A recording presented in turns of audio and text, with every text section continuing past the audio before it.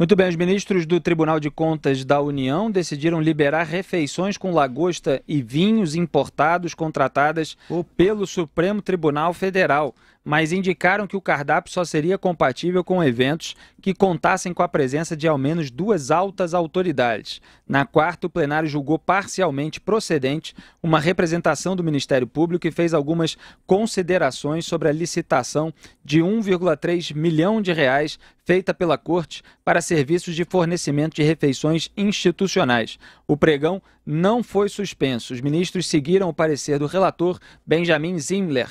Ele observou que, dado o elevado grau de sofisticação dos alimentos e bebidas, os preços fechados com a empresa que venceu a concorrência aparentaram ser razoáveis e compatíveis com sua finalidade. As refeições descritas na licitação previam itens como bobó de camarão, camarão à baiana, medalhões de lagosta com molho de manteiga queimada, bacalhau a gomes de sá, frigideira de siri, muqueca, capixaba baiana, arroz de pato, vitela assada, codornas assadas, carré de cordeiro e medalhões de filé. Portanto, Zé Maria, ministro do TCU decidiram liberar refeições com lagosta e vinhos importados, contratadas pelo STF, porque pessoal gosta de banquete lá no Supremo, gosta de comer e beber muito bem às custas do povo brasileiro. E o almoço demora, né, Zé? Salivei aqui, viu? Essa é uma pauta boa. Felipe, olha só, é, isso é uma vergonha. Primeiro, os tribunais superiores, o, o, Supremo Tribunal Federal, definiram uma, uma compra desse nível e o Tribunal de Contas ficar discutindo isso, lagostas, camarão e tal.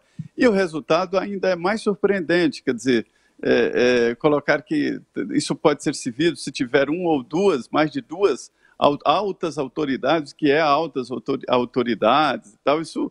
Por que, que as, as altas autoridades têm que ser recepcionadas de maneira diferente, ou do povo, ou qualquer solenidade? Eu admito solenidades no Supremo Tribunal Federal, para um lançamento de um livro, para um evento qualquer do Supremo. Não há é, é, nenhuma instituição que não faça um evento. Mas os eventos que acontecem, por exemplo, no Palácio do, do Planalto, são regados a cafezinho e água e nada mais do que isso. Todo dia tem um evento lá, o lançamento de, um, de, de, de uma lei, assinatura, promulgação de outra lei, e não há esses banquetes. O banquete acontece no Ministério de Relações Exteriores, e esse é o nome, a origem do nome, né? para convidados é, de, de chefes de Estado e tal, uma coisa regulamentada. Acho que discutir isso é uma vergonha, mas é preciso discutir porque uma pauta assim, num país em que existem pessoas desempregadas, num país em que se cortam recursos para é, educação, saúde, né, fica complicado. Isso é uma, uma, uma, um tapa na cara do trabalhador.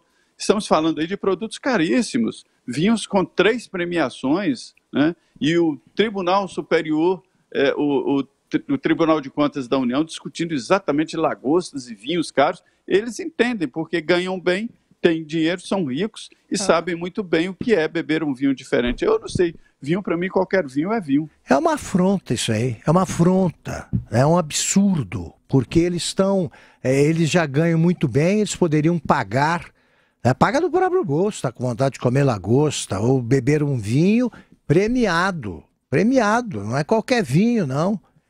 Também isso é uma afronta, né? Num país miserável como o Brasil, com tantas carências. Não é demagogia dizer isso, não. É uma indignação, é, é, é fruto de uma indignação muito pertinente. Muito pertinente. O Supremo não para de dar bofetadas aí no Brasil, né?